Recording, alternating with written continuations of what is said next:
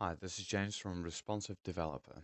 Today I'm just going to take you through how to use Blend4Web uh, to make a simple cube and UV project. as you can see, I've got a simple cube in the web browser created uh, in Blender and then exported using the Blend for Web uh, Python plugin. So it's just a simple cube uh, with some different colors on there uh, just to demonstrate uh, texturing using UV for this particular plugin. So what I've used for this plugin is GIMP, Blender, and the Blend4Web plugin for Blender.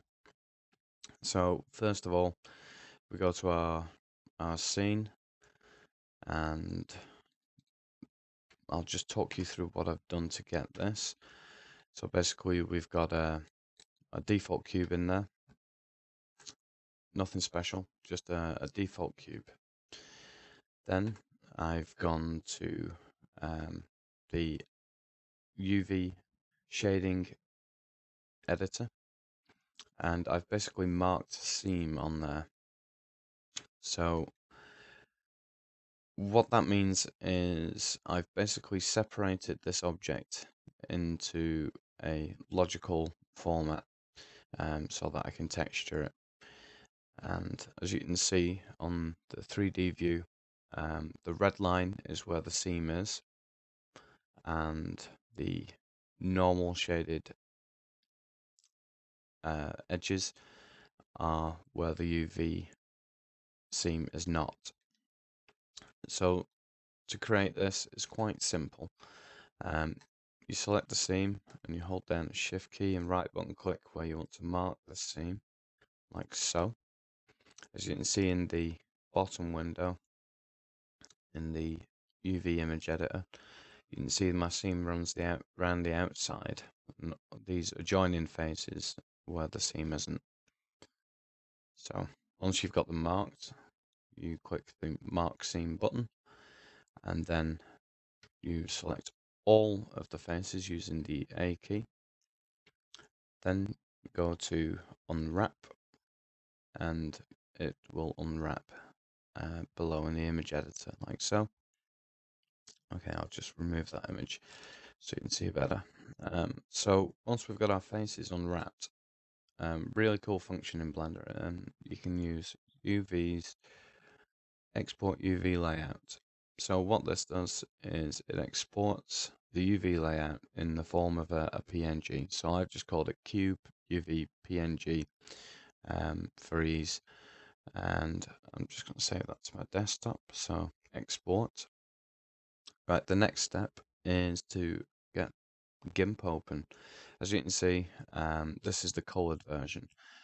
And what I'm going to do is actually, I'll just close that one so that we can show you from scratch. I'm just going to open up our UV layout with GIMP. As you can see, um, it's transparented, um, slight opacity, the different faces. So for this demonstration, I'm just going to very simply fill each block with a color so that you can see how it applies it to the model. So click fill, fill the fill bucket and, and select a colour. So I'm going to use purple for that one. Use a slightly grey colour for that one. Green colour for this one. Um, I'm just going to run through these really quickly. Orange colour for that one. And what if we not use the blue one for there? And we'll use this red one for the last one. So what you want to do now is save that file. Um, so I'm going to export it as and I'm going to give it a different name because I want to keep my original UV face layout uh, just in case I've messed up somewhere I can go back to it quickly.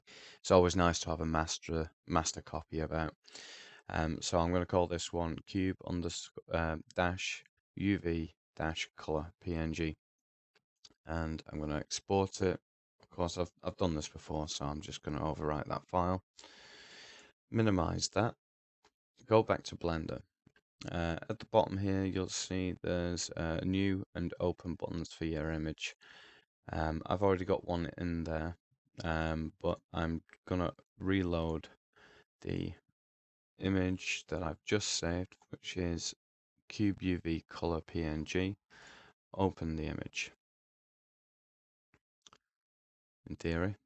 Yeah, there we go. So it's now open. And our UV image is nicely colored into the, the uh, UV image editor. So I'm just going to click rendered just to double check that it's loaded through. Now, this might not happen straight away. Um, it's because of the mapping coordinates. It may end up looking like that to begin with. Um, and as one of the Blend4Web um, tutorial people uh, pointed out that it should not be generated. It should be assigned as an UV project. And then you'll get the, the actual colors uh, showing on the screen as as you want them. So there you go. Um, for this scene, I've just taken a light, duplicated it, and then put it across the diagonal for effect. Um, so there's four lights, two above, two below. Um, there's no real accuracy there. Um, I literally just threw them in. So going back to our object, um, we also need to uh, make sure that the color is a UV project in options and that should be about it so then we now go to export export Blend4Web and it's cube UV HTML and just click on export and that's that done and I'm just going to reload it in the browser and there we go one colored cube using the UVs uh, with Blend4Web. I hope this has been helpful. Please rate and subscribe. If you've got any problems, issues, or, or questions, just ask, and I'll try and make a video for you. Thank you.